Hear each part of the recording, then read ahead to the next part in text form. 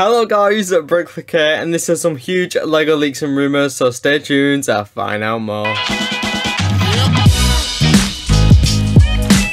So guys, I hope you're having a great day, and if you do go on to enjoy the video, why not subscribe as well as turn notifications and like the video, but let's get into it. So first off, we finally have it, our first picture of the Mandalorian Forge. This one has been highly anticipated from Star Wars fans. This one appeared in advertisement along with some of the other Mandalorian sets for summer 2021.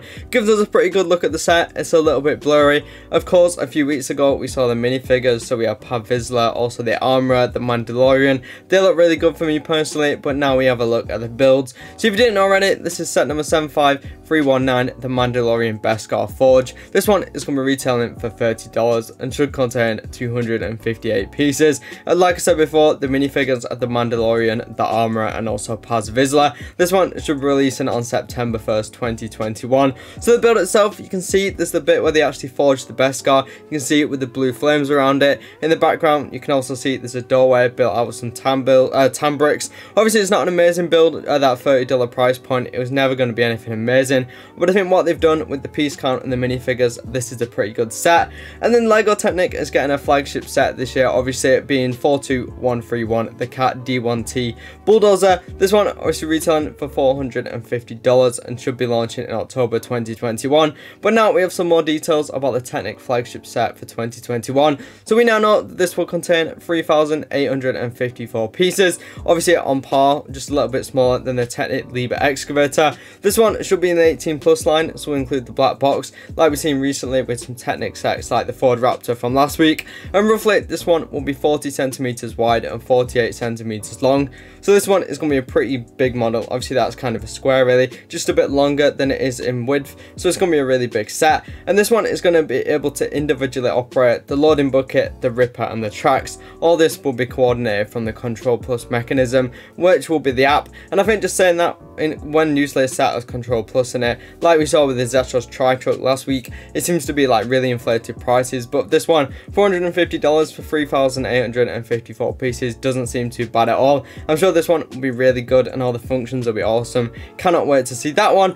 And then some more LEGO Brickheadz are joining the Pets lineup. All these will be launching on August 1st. We're retailing for $15, 15 euros and £13.50. So we have 40480, the red tabby cats, which will contain 269 pieces.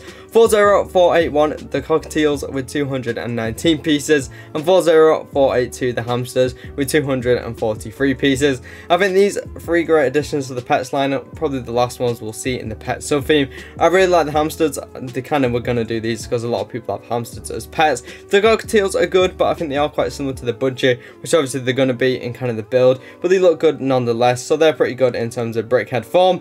And then this little kind of poly bag has appeared really for Lego House Chef. This one should be probably available exclusively to the Lego House like we see with the promotional sets. So that one, cool. The chef is holding two knives and also a red apple. So if you go to the Lego house, you'll be able to pick that one up. And then we got these birthday images of these VIP add-on packs. So we have 40512, the funny one, which is 148 pieces. Loads of random colourful pieces in that one. 40514, the Winter Wonderland with 139 pieces. A lot of translucent blue, gold and white in that one. And then 40515, the Pirate Treasure with 103 pieces. That one contains a shark, looks pretty good. And then we also have 40513, the spooky one. So that one will contain Halloween theme. We don't have too much about that. I presume these will be available in the VIP add-on center so you can basically redeem your points for these rewards. For me personally, I really like the funny one because it includes some pigs. Obviously, they're not too common in Lego form. Then the pirate one includes some unique pieces as well. So that one's not bad at all. I'll definitely pick them up, maybe a few of them when they come into the VIP reward center.